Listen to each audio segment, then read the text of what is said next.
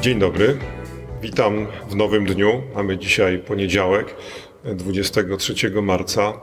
E, witam Was z Kościoła Ewangelickiego Świętego Mateusza w Łodzi. A witam Was słowami haseł biblijnych dnia dzisiejszego. E, pierwsze słowo z Księgi Nehemiasza z dziewiątego rozdziału, wiersz szósty. Ty jedynie jesteś Panem. Ty stworzyłeś niebiosa i niebiosa niebios i cały ich zastęp, ziemię i wszystko, co jest na niej, morza i wszystko, co jest w nich. Oraz drugie słowo z dziejów apostolskich, 14 rozdział, 17 wiersz.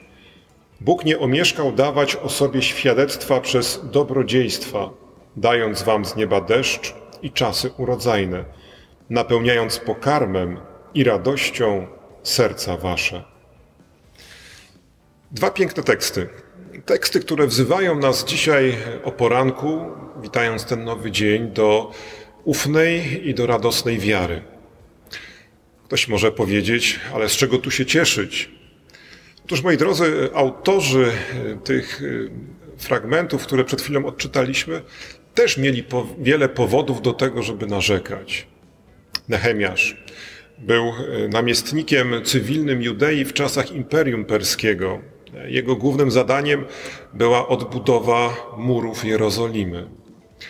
Napotykał wiele problemów, ale się udało. Gdy mury zostały odbudowane, to jego kolejnym zadaniem było niesienie pomocy ubogiej ludności, ale również, a może przede wszystkim, przywracanie wiary w Boga, e, ufności, że to Pan Bóg pomimo niebezpieczeństw, pomimo przeciwności e, ich prowadzi. I to, że on ufał, to, że on wierzył, dodawało mu sił, by wychodzić do ludzi, którzy byli pogrążeni w jakiejś ciemności, w jakimś smutku.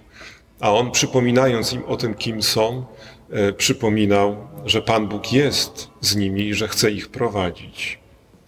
To samo e, w tych dziejach apostolskich e, Łukasz, autor dziejów apostolskich, wzywa nas do takiej ufności, pomimo przeciwności.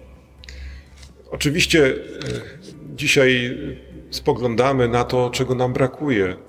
Pewnie chcielibyśmy gdzieś wyjść, spotkać się w gronie rodziny czy przyjaciół. Chcielibyśmy korzystać z życia, pójść na koncert, pójść e, na siłownię czy do innego miejsca, które jest dla nas ważne, a tymczasem nie możemy. Nie możemy nawet uczestniczyć e, w nabożeństwach przychodząc do kościołów. To jest możliwe za pośrednictwem internetu, ale e, osobiście do naszych kościołów przyjść w tym czasie nie możemy. Ale w tym wszystkim, co jest jakimś ograniczeniem dla nas dzisiaj, te teksty zachęcają, byśmy dostrzegli radość życia.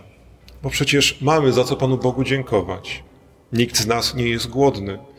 Jeszcze dwa tygodnie temu martwiliśmy się, czy aby starczy, w sklepach produktów żywnościowych. E, widzieliśmy kolejki ludzi, którzy robili gigantyczne zakupy, a dzisiaj widzimy, że możemy pójść do sklepu i kupić to, e, co jest nam potrzebne. Nie jesteśmy głodni. Mamy dach nad głową. W naszych domach, w naszych mieszkaniach jest ciepło. Czy to nie są powody do dziękowania?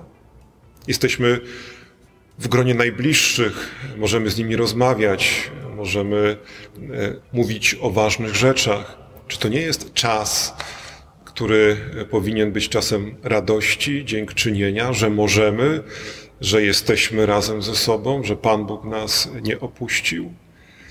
E, te teksty właśnie zachęcają nas e, do ufności, nawet jeżeli nie jest do końca tak, jakbyśmy sobie tego życzyli. Dlatego z odwagą wejdźmy w ten nowy dzień, w te wszystkie wyzwania, które są przed nami, e, wiedząc, e, że z Bożą pomocą wyjdziemy z tych doświadczeń wzmocnieni, silniejsi, może bardziej pewni tego, kim jesteśmy i w jakiego Boga wierzymy.